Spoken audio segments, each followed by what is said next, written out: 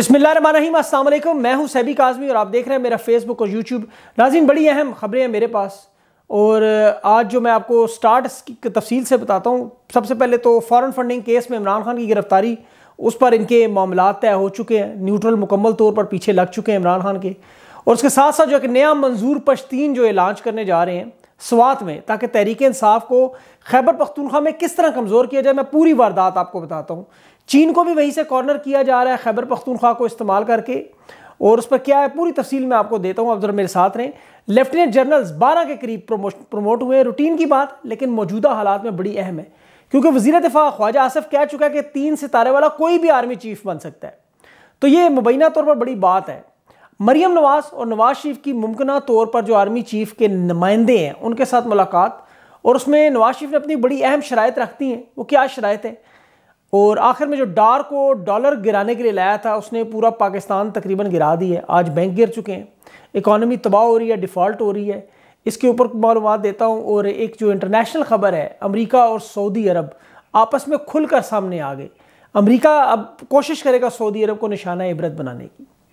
लेकिन सबसे पहले सवात में, जहाँ हज़ारों की तादाद में तकरीबन तीस से चालीस हज़ार लोग सवात की सड़कों पर निकल आए और वो चाह के आ रहे थे अपना तहफ़ अब ये बड़ा अहम मामला है कि जहाँ पूरी दुनिया देखे, इस वक्त फुटबॉल के जो खिलाड़ी हैं कतर में भेज रहे हैं, वहाँ पर हमारी बदकिस्मती देखें कि वो मुल्क जो खेलों का चैंपियन था, एक वक्त में हमारे पास वर्ल्ड कप का ढेर लगा हुआ था स्कॉश से लेकर क्रिकेट तक, हॉकी तक। आज ये हालत है कि हमारे गबरू जवान जो पुत्र हटा पर नहीं बिकते थे, आज रियालों पर बिक रहे हैं, इसराइल के खिलाड़ियों की, उनके तमाशाइयों की, तीसरे दर्जे की सिक्योरिटी कर रहे हैं। ये इस वजह से हालात कैसे पहुँचे कि आज हमारा मुकाबला जो है वो अफ़गानिस्तान से भी अगर हो तो हम उसे जीत नहीं सकते। वहाँ पर भी देख लें हालात के अट्ठासी रुपये का डॉलर है और पाकिस्तान में दो सौ छत्तीस रुपये का। अफ़गानिस्तान में पेट्रोल सत्तासी रुपये का और हमारे यहाँ पेट्रोल दो सौ चालीस के लगभग। अब आप अंदाज़ा करें कि यह हाजी कहता था कि यह करप्शन मेरा मसला नहीं, एक जंग ज़दा मुल्क ठीक हो गया बीस साल के बाद भी। जो वो मुल्क जो जर्मनी को कर्जे देता था, पाकिस्तान आज एक एक मुल्क से फर्दन फर्दन कर्जा मांग रहा है। और मजबूरी यह है कि वो देने को तैयार भी नहीं। ये मामला इतना सीधा साधा नहीं है। स्वात में स्कूलों पर हमले, कराची से लेकर बलोचिस्तान तक भत्ता लिया जा रहा है और ये बात पिंडी के जो बिजनेसमैन और ताजर हैं, वहाँ तक पहुँच चुकी है, जहाँ जर्नल हेडक्वार्टर मौजूद है। और ये बिजनेसमैन अपना पैसा दे के अपनी जान और माल बचा रहे हैं। इस वक्त देखे स्याह दुनिया में आते थे, पाकिस्तान हम बुलाते थे उन्हें। मैंने खुद बड़े प्रोग्राम किया वो अगवा हो रहे हैं। उसकी वजह कि देखिए, कराची में भी आप देख लें, चालीस हज़ार से ज़ायद रोज़ाना डकैतियाँ हो रही इन लोगों का मिशन क्या है? इनका फोकस सिक्योरिटी से नहीं, नवाज़ शरीफ को लाना और इमरान खान को रोकना, बस। कामरान तस्वीरी को लगाएँ, चाहे शायद कादर पटेल को लगाएँ, और अब तो देखें, शोर मचा सोशल मीडिया की, उजैर बलोच को हाजी अपनी जगह ना लगा जाए इस तरह के हालात में यकीन करें, कुछ भी हो सकता है। कलभूषण को ना लगा देंगी। इमरान खान से एक तरफ़ कानूनी जंग लड़ लें। अदालत में देखें, इमरान खान आज अदालत कहती है तीन घंटे पहुँचे। इमरान खान कहता है, मैं आधे घंटे में आ रहा हूँ। इसी दौरान मनी लॉन्ड्रिंग केस में शहबाज शरीफ और हमजा को जमानत भी मिलती है और अदालत कहती है, आपको दोबारा आने की ज़रूरत नहीं है। चार हरफ मेरी तरफ़ से। फॉरेन फंडिंग पर अब जो इकट्ठे जो कार्य इमरान खान के खिलाफ का मकसद क्या है?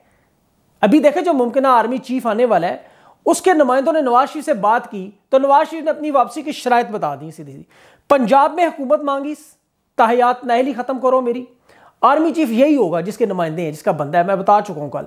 इमरान खान को गिरफ़्तार करो, इमरान खान को नहल करो, इमरान खान को निशाना इबरत बनाओ। और उसी पर फिर ये हाजी और उसके लोग काम कर रहे हैं। और इस लेवल तक ये गिर चुके हैं कि सवात और मनसेरा में इन्होंने वो गंदा खेल गुनावना खेल शुरू कर दिया, जो उन्होंने कराची में पीपल्स पार्टी के खिलाफ एम क्यू एम का वजूद बनाकर पीपल्स पार्टी को ख़त्म करने के लिए किया। उन्होंने इस वक्त ये सोचा नहीं था कि ये शहर कराची पूरे पाकिस्तान को पालता है, सबसे ज़्यादा टैक्स देता है, सबसे ज़्यादा पढ़े लिखे लोग या ये शहर पाकिस्तान की शहरग है। उन्होंने शहर को आग में झोंक दिया, आज हालात देख लें। शुमाली इलाका जात, सियाहों की जन्नत, मिनी स्विट्जरलैंड, स्वाद में अब यही खेल खेल रहे हैं। मकसद क्या है? तहरीक इंसाफ को रोकना है। और कलदम तंजीमों के साथ जो उन्होंने माहे किए थे, उन्हें यहाँ वापस लाना है। यह ऑपरेशन रजीम का सबसे बड़ा अहम नुकता था जो ये बताते नहीं आपको कलदम तंजीमों को वापस साथ इन्होंने लाना था। ये सारा खेल इसीलिए शुरू किया गया एक तरफ़ तहरीक इंसाफ और इमरान खान को निशाना बनाना और दूसरी तरफ़ चीन और सी पैक को। देखें सी पैक शुरू से खटकता है। सी पैक ने गुजरना भी सारा पाकिस्तान से। चीन का जो सी पैक वाला मामला है, वो आप देख लेंगे कुछ दिनों में, तीन या चार दिनों के अंदर कुछ खबरें आने वाली मैं आपको बाद में बताऊँगा। अभी प्रोपोगेंडा और प्लानिंग तो बड़े अरसे से हुई है। अभी देखें, कांजू हवाई अड्डा सवात में, इस पर उनकी बड़े अरसे से नज़र थी। इस अड्डे को हासिल करना है हर सूरत में। यहाँ से वज़ीर दिफा फिर इनका क्या बयान देता है आसिफ, ख्वाजा आसिफ, कि ये सूबाई हुकूमत का काम है। अब बंदा उससे पूछे कि कालदम तंजीम से मुआदा क्या सूबाई हुकूमत ने किया था?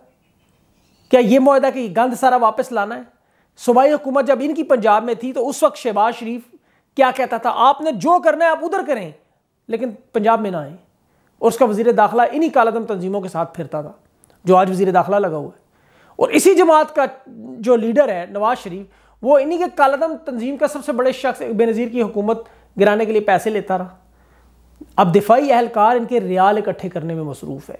मकसद इमरान खान को रोकना है या नवाज़ शरीफ को लाना है। फ़र्क बड़ा थोड़ा सा, बड़ा थोड़ा सा। कतर में सिक्योरिटी करें तो इन्हें मिलते हैं रियाल और डॉलर, और अपने मुल्क स्वात में सिक्योरिटी ना करें तो इन्हें मिलते हैं डॉलर। इधर सिक्योरिटी ना करने के पैसे मिल रहे हैं मत सिक्योरिटी करना, मत बचाना, तुम्हें पैसे मिलेंगे। ये गेम देखा कितनी बड़ी है।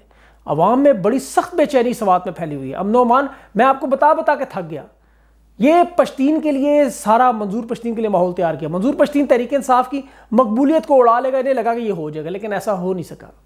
ये काम वही कह रहा है जो मुजीब, शेख मुजीब और मशरकी पाकिस्तान बंगालियों के साथ किया। बंगाली तो बड़े समझदार निकले, इन हाजियों से हमेशा के लिए जान छुड़ा गई। हमारे हिस्से में अलबत्ता ये अजाब पता नहीं, अल्लाह जाने कितना अरसा बाकी है। देखिए, स्वाद में वो नारे दोबारा लग जो दहशतगर्दी इसके पीछे वर्दी है। ये नारे दोबारा लगे दोबारा, और लोग क्यों कह रहे हैं? इसकी देखिए, बहुत बड़ी सॉलिड रीज़न मैं आपको बताता हूँ। ये दहशतगर्दी ख़त्म हो चुकी थी। ये काम ग्वादर में चीन के साथ जो ये नहीं कर सकते थे। बॉर्डर पर जब ये बाढ़ लगाने का सिलसिला हुआ तो सारे काम शुरू, चीन के साथ भी शुरू हो गया इधर भी शुरू हो गया क्योंकि गुंडागर्दी चेक पोस्ट पर गालियाँ देना, जबरी भत्ता खोरी माजी में जो हमारे जितने दुश्मन थे, जो हमारी एयर बेसिस में घुस गए थे, आपको याद होंगे, या इवन जी एच क्यू पर जिन्होंने टारगेट किया, अब इनको टारगेट बदल गया, अब ये वजी अजम हाउस में घुस गए। तीस तीस घंटों की रिकॉर्डिंग निकल रही है। मुल्क के कीमती राज जो है वो बिक रहे हैं ब्लैक मार्केट में। देखें, इनकी नफरत में किस हद तक ये चलेगी इमरान खान की? कि जो भुटो और जिया की नस्लें, जो खान, जो दुश्मनी थी जानी, इकट्ठे हो गए। इस तरह जो कालदम तंजीमों का दुश्मन मंजूर पश्तीन और उस तरफ़ उनके हमायती जमात इकट्ठे हो गए दोनों। मतलब देख कैसे कैसे लोग मिल गए। पीडीएम मुकम्मल फेल अब हो चुकी है तो इमरान खान के मुखालिफ ये लोग इनको इकट्ठा कर रहे हैं। मौलाना फजलरहमान को जनूबी खैबर पख्तूनख्वा मलाकंड में, जमात इस्लामी को, मंजूर पश्तीन को, नून लीग को हज़ारा में, पिशावर में मतलब जो एन एन पी एस को, फाटा में, ये सारा मोहसिन दावड़ इन लोगों को बांट के दे रहे हैं। ये अफ़गानिस्तान के इलाके उस तरफ़ सारा। कि सियासी तौर पर इमरान खान को इस मज़बूत गाड़े में तोड़ना है। आप देख लें कि माजी में जो जमात भी इन कालादम तंजीमों की हमायत करती थी, वो आज उनके मुखालिफ है। किसने लॉन्च किया इन्हें? स्वाद पर आवाज़ उठाने वाले मुराद सईद की जो प्रेस कॉन्फ्रेंस होती है, बात होती है, कोई दिखाते ही नहीं है। क्यों नहीं दिखाते? इसी वजह से। ये बड़ा गंदा खेल खेल रहे हैं। वो इनकी अल्लाह से दुआ करेगा अल्लाह ताला हमें इस बहुत बड़ी साजिश से महफूज रखे। बहुत हमने 20 साल भुगता है। अब एक तरफ़ मैं आपको इकोनॉमी की बताऊँ, तबाही। ये इंडस्ट्री या साठ रुपए किलो के हिसाब से मैं बता चुका हूँ, पहले लोहे की भाव बिक्री थी। इमरान खान ने अपने पैरों पर खड़ा किया उसको खड़ी हो गई थी बेहतरीन। एक बूम पर पहुँच गई थी। बूम होता है जिस तरह इकोनॉमी में। कुछ महीनों में सब बंद। अफरा तफरी लोड शेडिंग अब ये कह रहे हैं कि सर्दियों में गैस नहीं होगी। ये तीस फ़ीसद डिस्काउंट पर, ये मेरी बात याद रखें तीस फ़ीसद डिस्काउंट पर रूस गैस दे रहा था। इन्होंने कतर कतर से नहीं मिला कुछ भी। टेंडर जारी किया इन्होंने, एलपीजी, एलएनजी का कुछ भी नहीं मिला। 2015 से मामला शुरू है कि हमारी 10 फ़ीसद रिज़र्व गैस के कम हो रहे हैं, आबादी बढ़ रही इमरान खान ने एक कोशिश की थी कि दुनिया, पाकिस्तान अच्छा नौवें नंबर पे दुनिया में, नंबर नाइन्थ इस एलपीजी की खरीदारी, गरीब मुल्क और ख़रीदारी इतनी बड़ी। तो हमारे रिज़र्व ऐसा सा ख़त्म हो रहे थे, इंडस्ट्रियाँ, आपको पता है हमारी गाड़ियाँ, हमारे घर, आपको कुछ महीनों में अब ये सर्दी आने वाली अब देखेंगे, ये मेरी बातें आपको याद आएँगी बार बार तो रूस से हमें उस वक्त ये मिल रही थी तीस तीस फ़ीसद, थर्टी परसेंट कम, इन्होंने नहीं लेने दी। और अब देखें, गैस खरीद नहीं सकते ही अब आप। आप देख लें कितना जियो में शाहजेब खान ज़्यादा और इन लोगों, कितने प्रोग्राम है, कितने चीखे मार मार के वो करता रहा, कुछ नहीं अब घर। गैस नहीं खरीदी, कोई बात नहीं हुई। अच्छा नहीं है, उसका मुतबादल क्या है भाई? कोई प्लान कोई प्लान नहीं। और सागदार के आने के बाद जो तबाही बर्बादी का अपना ही एक लेवल बन रहा है। क्रेडिट रेटिंग देखें, हमारी पहले भी, इनके आने से पहले मनफी थी। इमरान खान ने से मुस्बत किया। सारे इदारे ऊपर है दोबारा इन लोगों ने मनफी करवा दी। करेंसी की कीमत जो इस इसहाक डार ने पहले मसनू तरीके से रोकी, डॉलर की।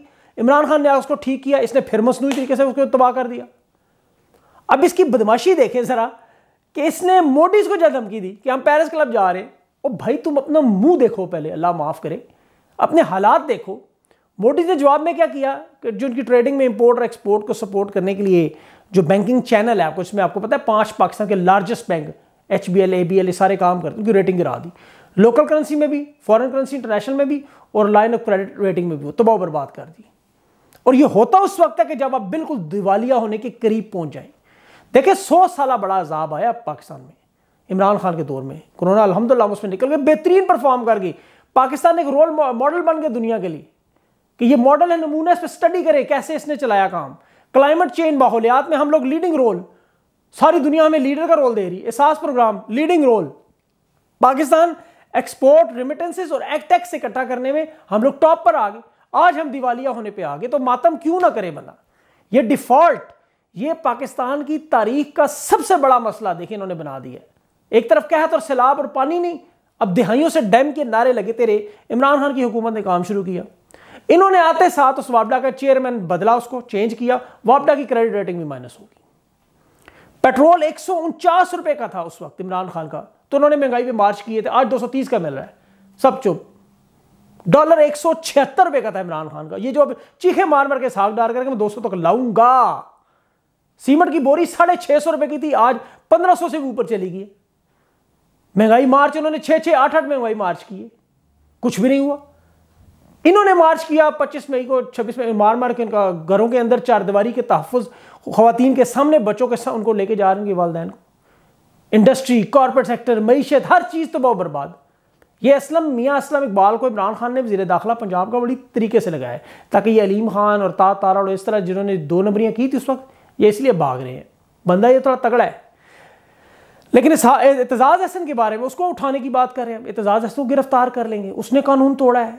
एतजाज़ हसन के बारे में एक बात बड़ी कॉमन है, देखें वो बड़ा दलेर बहादुर आदमी, लेकिन उसकी बदकिस्मती के वो एक हारे हुए लश्कर में इनके साथ खड़ा रहा। ये उसने कहा ना कि बाजवा ने मरियम, शहबाज और नवाज़ इनको मुकदमे से निकाल कर जुर्म किया है। अब सुप्रीम कोर्ट का सदर एहसन भवन, वो लंदन नवाज़ शरीफ से इनके तमाम मुकदमात कैसे ख़त्म करने उधर पहुँच गया है। अब एतजाज़ एहसन को ये अदारे उठाने के लिए जा रहे हैं, लेकिन वो कह रहे हैं, जहाँ मुझे बुलाएँगे, मैं आ जाऊँगा। मैं इस उम्र में क्या डरना है भाई? अब तो जाना ही अल्लाह के पास है। इन्होंने जवाब में एक वो उनका पालतू शख्स है, मलक अहमद, उसको, जिसने शरीफ खानदान के साथ इनकी डील भी करवाई थी। वो बड़ा मेन बंदा है इनका। हाजी, खुद तो ज़ाहिर सामने आ नहीं सकता। खुद अगर सामने आ जाए तो फिर आपको पता है, एतजाज़ अहसन के साथ फिर वकील बाहर आ जाएँगे। और ये न्यूट्रलिस्ट अगर किसी से डरते हैं तो वो बुकला से डरते हैं। ये मैंने खुद अपनी आँखों से देखा मलक अहमद को जवाबी प्रेस कॉन्फ्रेंस के लिए उन्होंने भेजा। और साथ ही मेरे एतजाज़ अहसन के खिलाफ इन्होंने ट्विटर पर एक कंपेन शुरू कर दी कि जी, वो बेरोज़गार है, उसने बिज़नेस और करोड़ उस वक्त डेढ़ करोड़ रुपये मुकदमे के लेता था जब ये लोग पता नहीं एफ़ पास भर्ती हुए थे। सबसे लंबी सियासत का हमें पीपल्स पार्टी का सीनियर लीडर है बंदा। सारी सियासत देख चुका है और जदीद सियासी मिजाज भी दे चुका है। एंटी स्टैब्लिशमेंट तहरीक की क्यादत भी कर चुका है। इसलिए इसके बयान को बहुत संजीदा लिया गया। और ये बात बड़ी क्रिस्टल क्लियर वाज है अब कि आर्मी चीफ एक मुजरिम को, उसकी मुजरिम बेटी को एनआरओ देकर मुजरिम बन गया। और ये ही ऑपरेशन रजीम चेंज का हिस्सा थी। 28 नवंबर के बाद अब जिल्लत से बचने के लिए ज़ाहिर है। अब बहुत कुछ करेंगे। उनकी पूरी कोशिश होगी। लेकिन इमरान खान इस्लामाबाद पे आएँगे।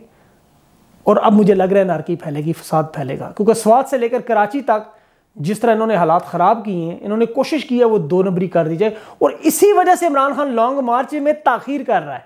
और यही सबसे बड़ी अहम बुनियादी वजह है। इमरान खान नहीं चाहते पता चल गया कि कराची से लेकर स्वाद तक इन्होंने क्या गड़बड़ शुरू कर दी है, कलदम तंजीमों के ज़रिए। मामला बहुत ख़राब है, आपकी सोच से भी ज़्यादा। इसलिए अल्लाह से दुआ किया करें। हर नमाज़ के बाद चलते फिरते इस्तबार करते हुए दुआ करें अल्लाह से कि या अल्लाह रहम कर हम पर। हम पर अपना फजल कर। हमसे राज़ी हो जा। अपना ख़ास ख्याल रखें। मुझे अगली वीडियो तक के लिए इजाज़ दें। अल्लाह हाफ़